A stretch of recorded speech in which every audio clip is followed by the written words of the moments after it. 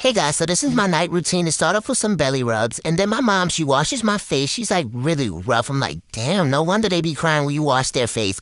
And then she's gonna brush my teeth. I hate this part, but no one wants to hear her mouth, so I just let her do it. Then she's gonna wash my pores, and I really hate this part as well, but she put some stuff on there, and this stuff smells so so good. And when she puts it on there, when she's done, she massages my pores, and that feels so good as well. Then she gonna put some stuff in there. Please don't spray my face. Please don't spray my face. What she does, she sprays my damn face. Then she brushes me, still very rough. And then she goes to make my food, and she gives me a bunch of yummy stuff for dinner, stuff that I really enjoy, except for that kibble. I'm not gonna eat that. She keeps trying to give it to me. Then she's gonna give me some bottled water.